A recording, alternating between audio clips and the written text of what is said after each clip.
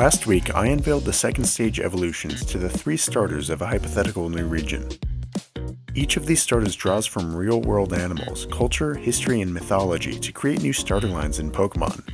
The first stages are plenty adorable, and the second stages each have more appeal, with their designs hinting at their final stage. But after all that, the final stage is where a starter Pokemon really gets its full identity showing a clear transformation from a simple elemental animal to a creature that's mastered its powers and even gained a secondary typing and signature moves that show off the full extent of their real world inspirations and the powers based on them. Today I'll be showing off the final evolutions for Cactup, Ursoot, and Puffet, explaining what went into the design process, and how I turned these guys into complex final stage Pokemon that would be some of the most powerful in their region. In the last two videos, we met Cactup, a shy desert-dwelling dog inspired by Chihuahuas, and its evolution, the curious coyote-inspired Loboaro. Both of these Pokemon took inspiration from the American Southwest, in almost every aspect. They're inspired by the various types of canines that live in this harsh climate, paired with the one type of plant that thrives there, cactuses. I found this link to be intriguing not only from a biological standpoint, but also what they represented culturally. As I mentioned, in both Mexican and Native American folklore, coyotes are represented as tricksters and figures of death. So both in their designs and personalities, I made sure that Cactup and Loboaro represented this idea well. The idea of being a cunning mischief maker as it grew and evolved. I also made sure that the grass type aspect of these designs progressed well, with its tail evolving from a small cactus bud to a whole stalk blossoming with flowers. So for the final evolution, I made sure to take all of these ideas into account and continue this progression. So all of that gave us Stocculent, from stock and succulent. This typically gentle creature roams the desert landscapes alone, typically climbing massive rock formations and drawing power from the moonlight. The flower on its tail is bloomed perennially, but under the right conditions, it'll blossom further and emit a sweet scent that can knock out any target with ease. They say Stocculent have the ability to enter people's dreams, conjuring fantastical visions and even temporarily influencing their perception of reality once they wake up. Scientists believe Stocculent draws this ability from the spirit world. They typically avoid violence, preferring to use cunning intellect and supernatural strength to win. So Stocculent is a fearsome looking canine, inspired mainly by desert wolves that roam the Sonoran Desert. Design wise, I made sure that the cactus aspect was no longer just on its tail, but its entire fur was a rugged surface like a cactus patch. It also has disheveled fur to make it look almost rabid, representing its ghost typing. I gave it that as its secondary type because of what wolves and coyotes represent in Mesoamerican mythology, with one main spirit being the Aztec god of mischief, represented as a coyote in artwork. So I think Stocculent would be a very intelligent creature that prefers to trick its opponents rather than fighting head on, with lots of status moves, ghostly abilities, and even dream-like fighting abilities, draining the energy of others to sustain itself, much like the Mexican legend of the Chupacabra, you might also recall that I made this line inspired by Mexican depictions of death through sugar skulls, and that continues here in a slightly different way. I designed Stocculent's color palettes and bright pink spot after a particular style of Mexican artwork, Alebrije. This is a style of representing mythical beast-like creatures with vivid colors, patterns, and shapes, almost like a fever dream. It's been a tradition in Mexico for almost 100 years, dating back to when the original artist claimed to see these vivid creatures in his dreams, inspiring the art movement. So that influenced both Stocculent's design and its main behavior of using its trickster nature to influence the dreams and perceptions of its foes in battle. This influenced Stocculent's signature move, Dream Snatch. This would allow Stocculent to pounce on its target, using its cactus blossom aroma to send its foe into a deep dream-like state, giving them a vivid nightmare and draining their vitality. This would restore up to 50% of Stocculent's HP, almost like a ghost-type version of Giga Drain. So with ideas of the desert, nighttime, and mischief, I hope I've been able to round out the Cactup family well and give you a sense of what the grass line would be like if you chose them as your starter. Now let's move on to the fire line, where I showed off both Ursoot, the gentle fire cub, and its evolution Brewsmoke, the scout-like warrior that roams the forest. Both of these guys were inspired by grizzly bears and black bears in the forests of the Pacific Northwest, drawing upon their behaviors in these wood environments but they also take light inspiration from Pacific Northwest artwork, such as totem poles and tribal artwork. Bears are often represented here as protector figures of the forest, almost like deities. I was drawn by the intricate nature of this artwork and the connotation that bears had, as extremely respected figures. So that'll definitely continue with this third evolution. I also wanted to do something unique that hasn't been done before, so I made this third evolution firefighting. I'm just kidding.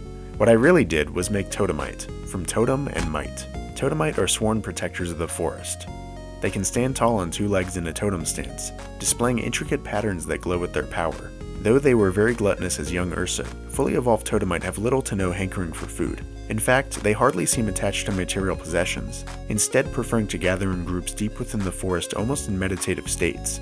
However, despite their typically calm and gentle demeanor, Totemite have a fiery temper, and they'll go into an unstoppable rampage when they sense their forest home is in danger, employing both physical firepower and acute psychokinetic energy to vanquish any threat. So these guys are bears once again, but they're mainly inspired by totem poles, practiced down in the Pacific Northwest, where respected animal figures are carved into tall cedar poles and displayed at community centers as figures of worship. These tall poles, often with eagle-like wings at the top, were the main inspiration for Totemite's signature upright form and its outstretched arms.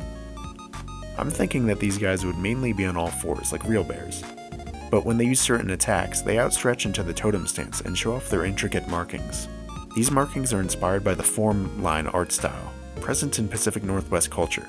These markings are meant to make Totemite look like the living embodiment of a totem pole, and its main marking on its belly looks like an eye with a mouth below it. I'm thinking that these two patterns in light blue would glow brightly when Totemite executes its signature move, Woodland Chief. This would be a psychic move that has Totemite go into the stance, stretching its arms and blasting its foe with a psychic ray.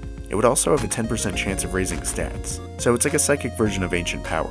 So I made Totemite a beast of the woods that holds immense physical power, but it's now gained the wisdom and restraint to use those powers wisely, earning it some psychic abilities alongside. I think Psychic was a solid choice because it represents Totemite's deep respect and connection to its natural environment, and how it doesn't just rely on brute force to get by. Finally, let's discuss the water line. In the last two videos, I introduced Puffet, the brave puffin-inspired Pokemon who lives on rocky shores, and its evolution Skipiper, a crafty and powerful seabird who swims long distances in rough waters. These are inspired by puffins, seagulls, sandpipers, and other types of shorebirds, all species who live across the world's oceans and thrive in cold, wet environments where they can swim and dive for survival. I wanted to keep this going with a third evolution, who would be much bigger and a much more powerful bird and probably one of the only bird Pokemon that doesn't gain a flying typing. I wanted to lean more into the secondary inspiration for this evolution line, the nautical aspect, because both Puffet and Skipiper have a general maritime theme here. I styled these birds after various types of ocean explorers. For the third evolution, I made sure to give this bird a fully fledged ocean traveler vibe, so all of that gives us Admatros, from Admiral and Albatross. Admatros are naturally fearless leaders. Their once small wings are now powerful enough to whip up strong gale winds, enough to help ships sail across the seas. These also allow them to fly long distances across them, exploring new islands in the vast reaches without getting tired. They can also swim competently and are versed in combat. They're often seen sparring on groups on the surface of rocky beaches. Admatros enjoy fighting, and they never run out of vitality. But they also have a deep control over their emotions that allows them to make quick decisions in life-endangering situations. They use salt water to prune their razor-sharp feathers. So Admatros is mainly inspired by one type of bird in particular, the albatross. These are massive birds that are one of the largest types of flying animals, with wingspans of up to 11 feet. They can travel long distances across the ocean without stopping or even flapping their wings. So this mastery of flying abilities, while retaining the swimming abilities of past evolutions, makes Admatros a very powerful fighter, so much so that it gets a fighting secondary type. This is mainly to represent the connection to sailors and also pirates, which shows up in its design. These guys use their wings not only to fly, but also as weapons, and simply to pull a few punches when they need to. I made sure that this pirate connection was apparent in its design, where the top of its head is a crown of tufted feathers that looks like a stereotypical pirate hat. I also made this show in its signature move, Jolly Roger. This move would allow Admatros to flap those wings and cause a watery storm, dealing both water and flying type damage. In that sense, it would be like the move Flying Press. This reinforces Admatros's connection to its flying abilities, giving it some nice coverage alongside some strong physical based water and fighting type attacks. So of all three of these final evolutions, I think Admatros would be the most people friendly.